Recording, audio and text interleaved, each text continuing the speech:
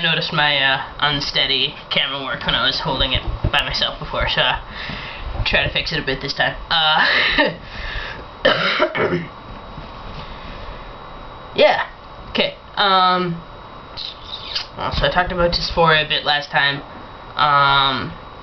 I don't know. I found myself kind of watching the crap out of like packing videos and stuff. Um, I haven't gotten that far as to buy a packer yet. Like I'm poor as hell right now, so I can't afford anything. Um, I literally have like fifty dollars in my bank account right now, and uh, I actually have people calling me that I owe money to. Um, I haven't paid my cell phone bill in a while.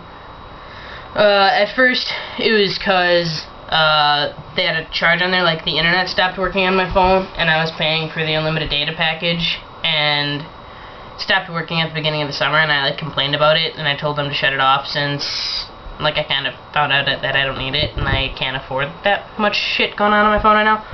Um, so yeah, and they didn't take it off, and so I refused to pay my bill because there's no way I'm paying for something that I could not use and was not my fault.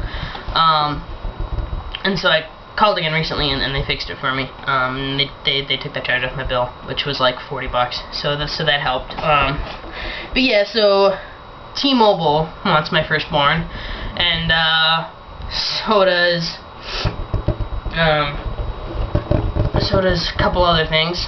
So, um, yeah. I don't really know what happens when, uh, they, like, report you to the credit bureau. I don't know if they, like, slit my throat or whatever. Okay, the camera's shaking now because I have it, like, precariously perched on top of, um, a, a cage that I have for, for, for, my, for, for, for, for my rats. Sorry for the stutter.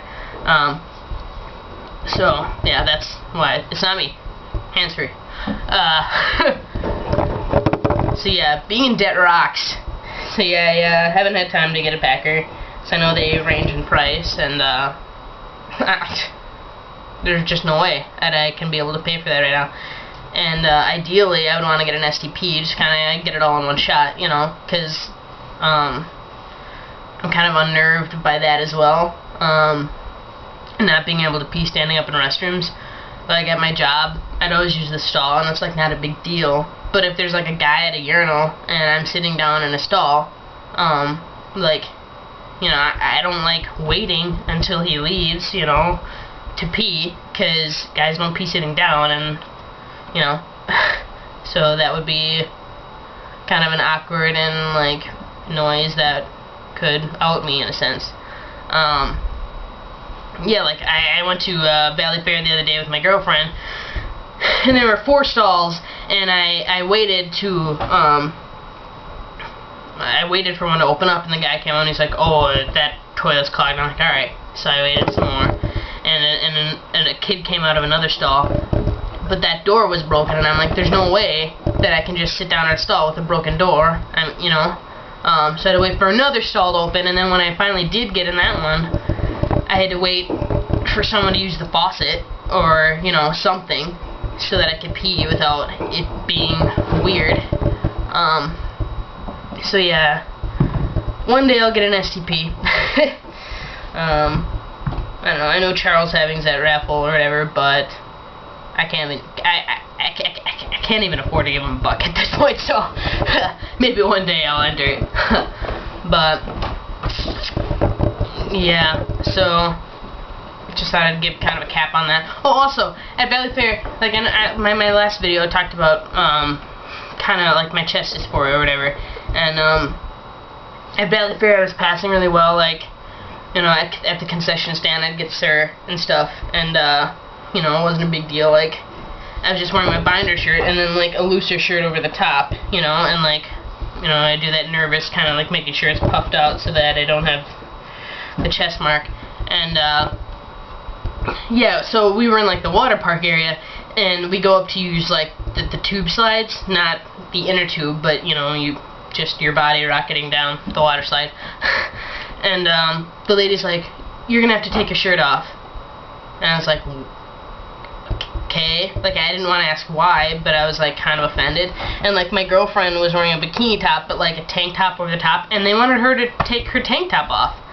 And it, and they weren't like giant tank tops, you know, like or like it wasn't a giant shirt, so I, like I didn't see the need. Like I could not picture my shirt coming off and strangling me on the way down the tube. Um, so that freaking sucked because in a second I turned from a normal guy into this freakish hairy girl, you know. Because I don't shave my legs, I don't shave my armpits, obviously, because I want, you know, it's passing, and that feels weird for me to do that. So, uh, yeah, that just really ticked me off. And when we both got to the bottom of the slide, we both just like agreed, like, let's not do that again, because I felt violated that they asked me to take my shirt off. Like, has it has that happened to anyone else? Like, like I thought, because I, I took my shirt off and I was wearing my binder shirt under my like swimming shirt or whatever, and I was worried they were they were gonna ask me to take that off. You know, like what's the big deal? Obviously, I'm wearing like a skin tight shirt. It's not gonna kill me on the way down, but yeah. So that just pissed me off, like beyond belief. And I felt outed. You know, I felt I felt freakish because I was passing perfectly as a guy, and then I was stripped bare to my binder shirt. Um, yeah. So yeah, I thought I'd just touch on two horrible parts of my life right now. And uh, before it gets too long and you get bored, I guess I'll make one more and just beat the shit out of YouTube uh, with my rantings. Um, so yeah.